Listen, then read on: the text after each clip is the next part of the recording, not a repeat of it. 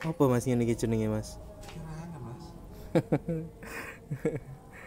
ini untuk tangkringan. Biasanya dipakai di sangkar kosan. Kalau untuk sangkar biasa aplikasinya seperti ini. Nah. ya seperti ini ya tapi di dalam.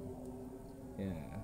Biar nanti bisa dikasih tangkringan misalkan seperti ini. Biar nanti bisa dipasang tangkringan tengah.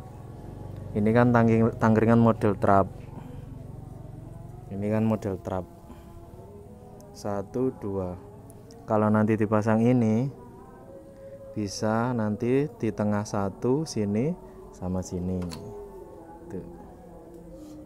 untuk yang pintu tembus kalau untuk pintu biasa gini dikasih juga nggak apa-apa nggak dikasih juga nggak apa-apa